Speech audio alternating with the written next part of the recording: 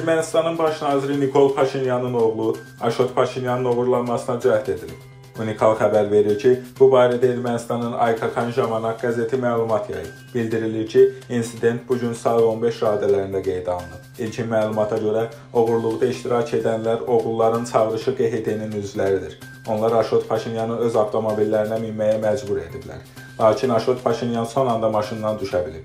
Nəticədə həmin təşkilatın arxasınca gedən avtomobil Paşinyanı vurub. Aşot Paşinyan ayağından yaralanıb. Hadisəni törədən oğulların çağırışı QHT üzvləri hadisə yerindən qaçıblar. Baş nazirin oğlu hüquq mühafizə orqanlarına müraciət edib.